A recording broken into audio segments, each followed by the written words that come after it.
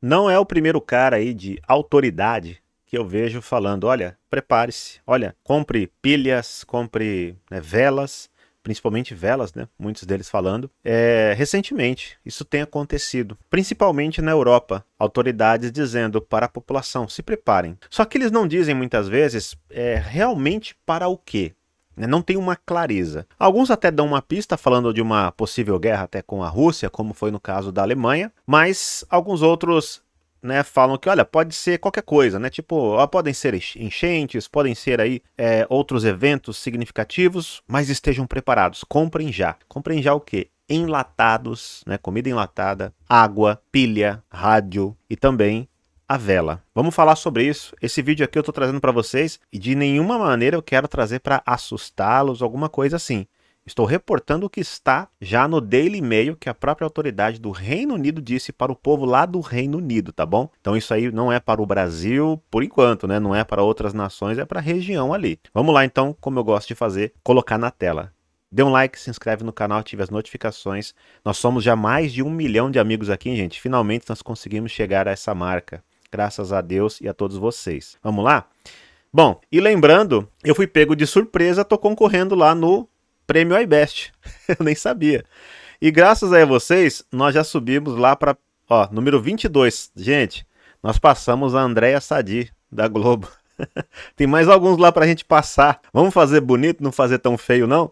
Então você pode votar mais de uma vez, tá bom? Então você espera aí, no outro dia você volta, vota, né?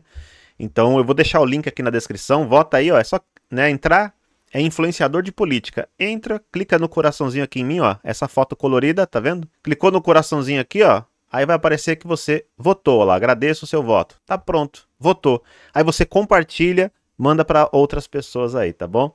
Link tá na descrição, combinado? Fica até o final desse vídeo aqui. Vamos lá. Olha só o que nós nos deparamos. As famílias serão instadas a armazenar alimentos e água para três dias. Olha só para ajudar a construir a resiliência nacional, em meio a temores de cortes de energia prolongados, ataques cibernéticos e inundações. Bom, de início, eu vou dar minha opinião de algo que eu sempre falei para vocês. Vocês que me seguem aqui no canal já há tanto tempo sabem que eu já fiz lives, vídeos e eu falei sobre esse assunto. Uma hora ou outra vai acontecer um grande apagão. Eu acredito que o motivo alegado vai ser um ataque cibernético. E eu vou te mostrar uma outra notícia aqui que aí você vai ficar de cabelo em pé. Um ataque cibernético. E aí eles vai afetar tudo. E vai ser um apagão em várias nações, é o que eu acredito. Está sendo dito. Gente, você que mora no Reino Unido, vendo essa notícia, eu iria agora com calma, tranquilidade, sem correria, mas faria o meu estoque de emergência, tá? Porque eles estão falando não é de hoje. Deixa as coisas guardadinhas ali e, né, se precisar você vai ter para usar. As famílias serão hoje instadas a armazenar alimentos e água para três dias para ajudar a construir a resistência nacional, ou resiliência.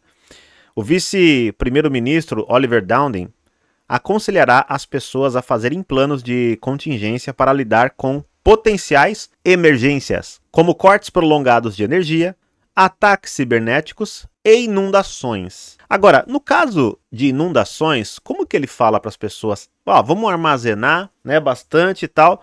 E se a inundação atingir a região que as pessoas estão armazenando, né, perdem tudo. Será que realmente é isso que ele quer dizer? Olha, é por causa né, do clima, né? As mudanças climáticas que ele tanto fala. Será? No ano passado, Dowden disse que as pessoas deveriam adquirir capacidades analógicas, como velas, tochas e rádios, para aumentar a sua resiliência pessoal. Viu só? Até tocha o cara tá falando. Hoje ele irá mais longe, incentivando as pessoas a estocarem comida e água suficiente, suficientes para sobreviver durante três dias sem sair de casa. Gente, eu digo a vocês assim: tem algum grande evento chegando. Eu não sei se vai ser para o mundo inteiro, mas o pessoal que está na Europa, eu acredito que serão afetados, tá? Então, assim, dá ouvidos. É, essa turma, eles avisam muitas coisas que vão acontecer, mas muitos não levam a sério esses avisos. Esse cara tá falando isso aqui não é à toa. Ele tá passando o recibo. Olha, se preparem. Tempos difíceis estão chegando. Lembra? Eu falei para vocês sobre o ano também eleitoral americano, tem muita coisa em jogo no mundo.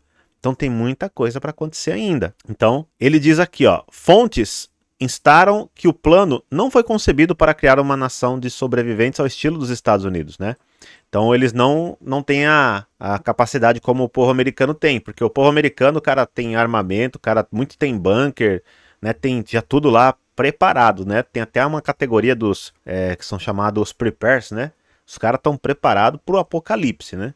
Um deles disse que a intervenção de Dowden não pretendia ser alarmista e era simplesmente um conselho de senso comum. Os ministros acreditam que os preparativos de cada família ajudarão a aliviar a pressão sobre os serviços de emergência ao lidar com uma crise.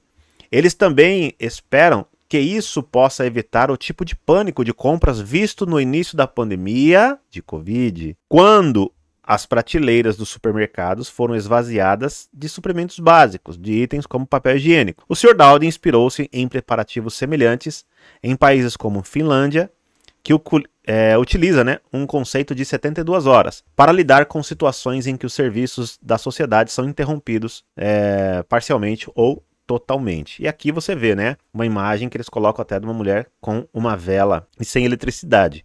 E a outra as enchentes. Nós estamos na era das enchentes, pessoal. Tem acontecido em vários lugares. Não foi só o Rio Grande do Sul, é que o Rio Grande do Sul agora foi uma coisa assim, é apocalíptica, essa é a palavra. Mas aconteceram também enchentes em outros lugares, no Texas, Dubai, na Itália agora recentemente, na China, vários lugares enchentes assim terríveis que estão acontecendo. Os finlandeses são incentivados a armazenar alimentos e água e estar preparados para abrigar-se dentro de casa, tapando as frestas das janelas e esperando calmamente por instruções de rádio, né? Então tem isso aí para os finlandeses. Bom, dito isso, o cara tá, né, dando esse aviso hoje. Tá aqui, o vice-primeiro-ministro. Agora veja isso daqui, ó. Deixa eu mostrar para vocês. EPA emite alerta terrorista. China, Rússia e Irã avaliam ataques cibernéticos contra sistemas de água potável e águas residuais dos Estados Unidos. Aí você fala, Renato, mas é dos Estados Unidos, o cara tá avisando no, no Reino Unido. Aliados, meus amigos são aliados e o que está em jogo que eu disse para vocês, quem é que vai liderar uma nova ordem no mundo? Porque a partir da Segunda Guerra Mundial, já expliquei para vocês, é que foi muito teorizado, né, colocado nas, no campo das teorias de conspiração esse conceito de uma nova ordem ao mundo, é, que ficou meio que. Parece que virou uma fantasia, né? Tem muita gente que não acredita e tal. É, é uma coisa até simples. Olha, o mundo precisa de uma outra ordem. Pessoas estão levando o mundo a isso. Eu preciso que tenha uma ordem financeira diferente o lastro precisa voltar, por exemplo, a ser o ouro, ou vai ser outra coisa. Eu preciso ter mais controle sobre o cidadão. Né? Eu preciso que os países se submetam ainda mais, por exemplo, aos Estados Unidos, né? ou a um governo global que vai ser colocado. Né? E do outro lado existe o quê? China, Rússia, principalmente, né? e seus aliados, aí vem Irã e entre outros, que estão dizendo: nós queremos uma ordem mundial que nós vamos liderar. É uma ordem multipolar, onde todo mundo vai dar palpite, mas nós vamos liderar. Não queremos essa que vocês estão colocando. E aí são dois mundos que estão em conflito nesse momento. Está acontecendo agora. A história está sendo escrita agora. O que ocorre hoje estará nos livros de amanhã, tá certo?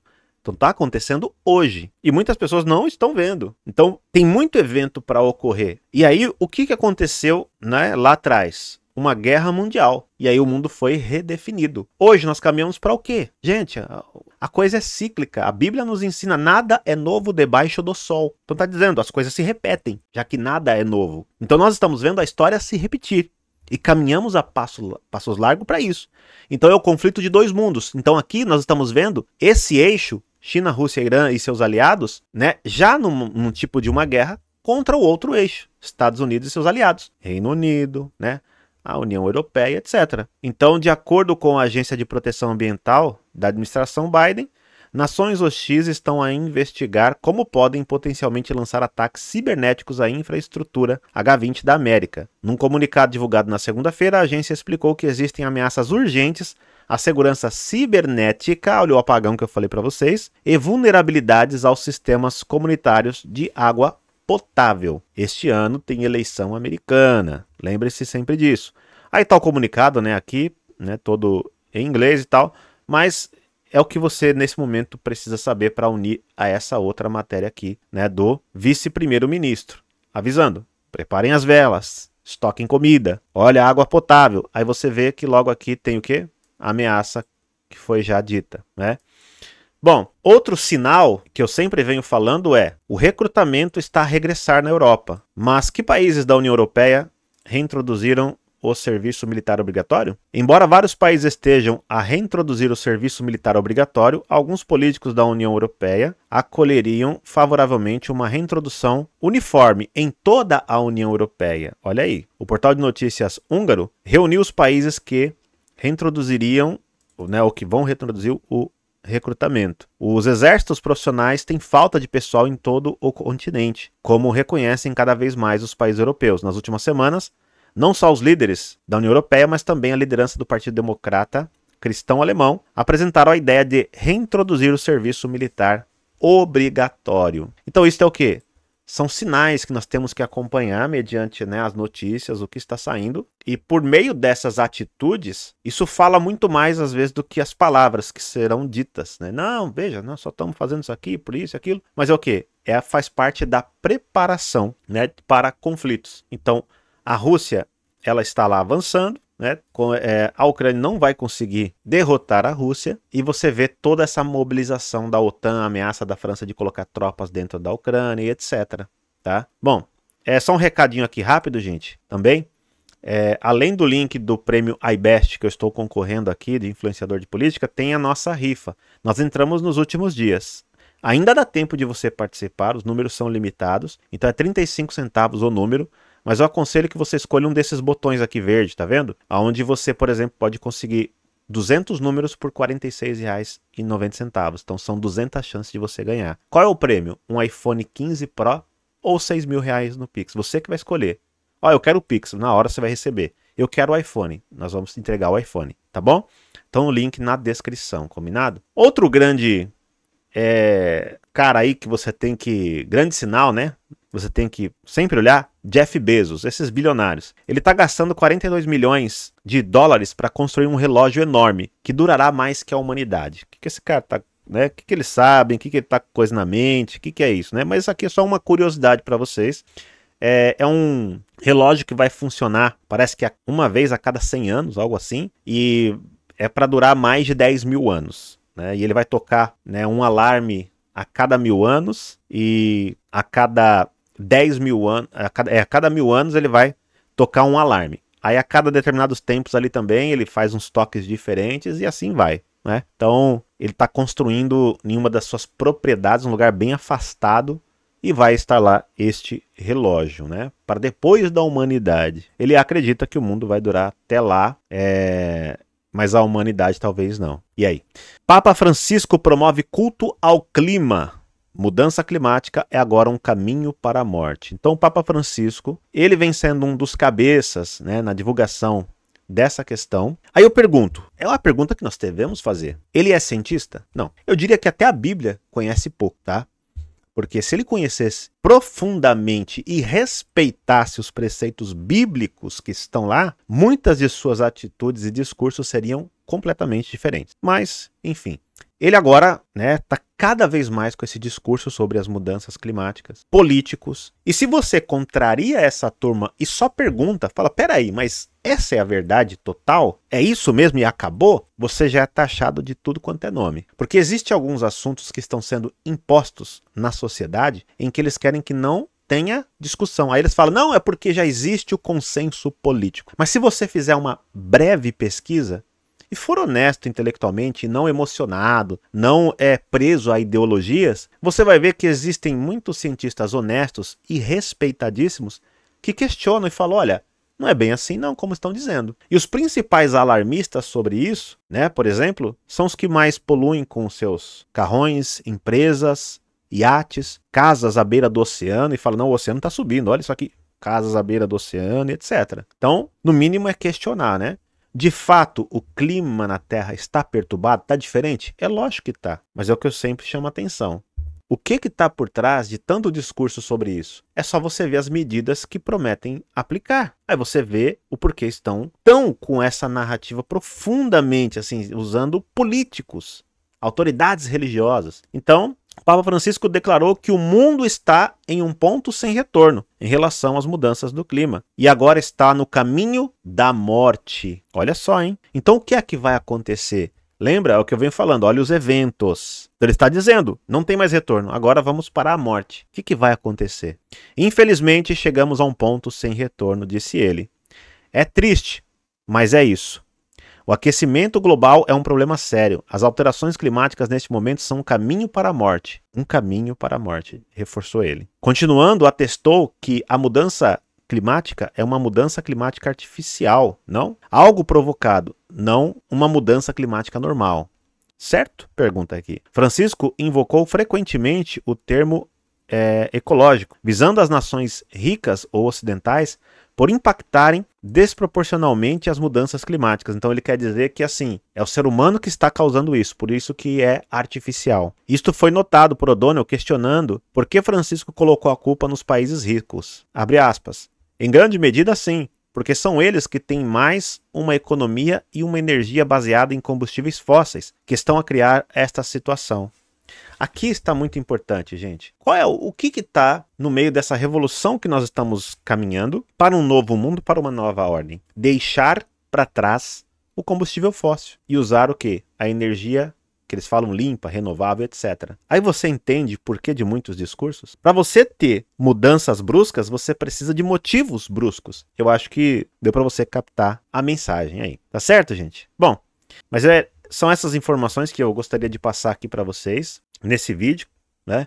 Com assuntos importantíssimos que impactam diretamente nossa vida e como será daqui para frente. Então você vê que o mundo caminha para grandes eventos cada vez mais. E cabe a nós o que estarmos preparados principalmente aqui, se apegar com Deus e saber que é um processo que nós devemos passar, mas que a promessa dele está lá. É só você dar uma lida na Bíblia e você vai ver como isso tudo vai terminar. Aqueles que forem fiéis até o fim serão salvos. Um grande abraço, fiquem com Deus. Vota aí em mim aí no prêmio iBest. Tamo junto. E tem o link na descrição também da nossa rifinha aí, tá bom? Grande abraço e até a próxima aí.